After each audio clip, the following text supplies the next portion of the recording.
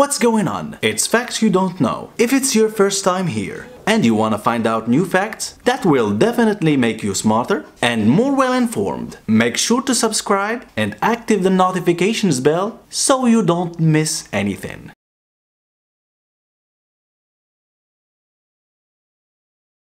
One of the most widespread traits in the field of architecture currently is the transformation of freight containers into typical buildings as an economic and modern alternative to homes, hotels, offices, stores, restaurants, and other commercial uses.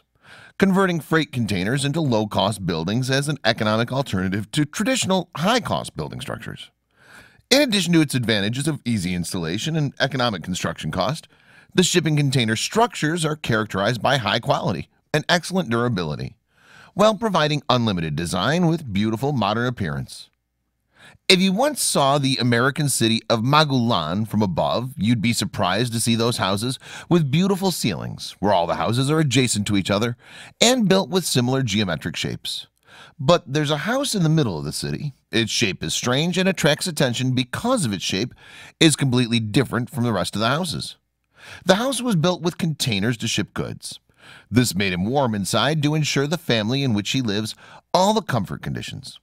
The man was named Michael Probe, had come up with the idea of building his house since 2000, but some of his friends warned him not to risk building it because it wouldn't be good. When Michael got married, he presented the idea to his wife, and he agreed and expressed his willingness to support him in the process, which led him to start building the house in 2011. Michael hired some professional engineers to construct the metal buildings and assured him that the house would be much less expensive than the average home. The most difficult task in this project was how to outline the house, which would be constructed mostly of containers to ship the goods.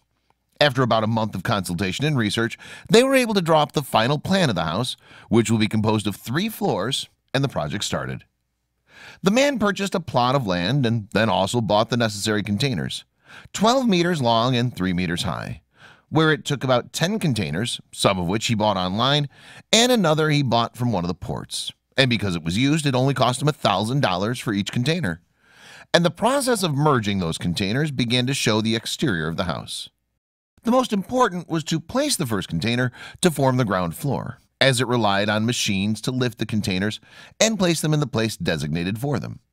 And after they were well installed in the ground, the young man wrapped the containers inside with an insulating material, preventing the entry of heat, cold, and even annoying sounds because the containers are made of iron and the latter retains heat if the weather's hot and it becomes very cold when the temperatures are low outside.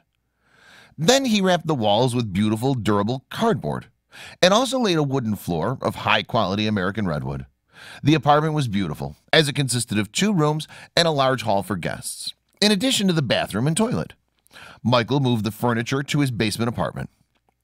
When the young man finished placing the last two ruts on the apartment on the ground floor, he installed other containers on top of it, forming another two floors.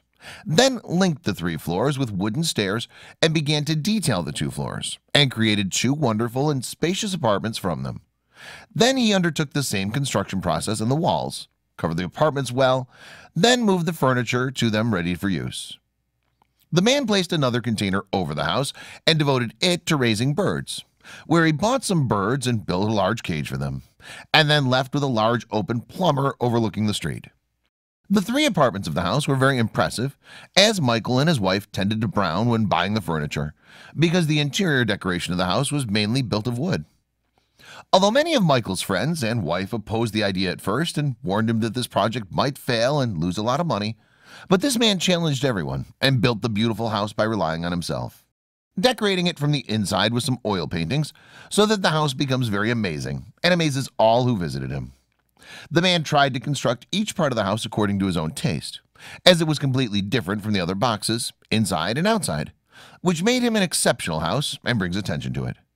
With the success of this idea, many people who saw this house and saw the details and cost of its construction that were not expensive expressed their desire to build similar homes for it. And in turn, Michael provides advice to anyone who comes with him to ask for details.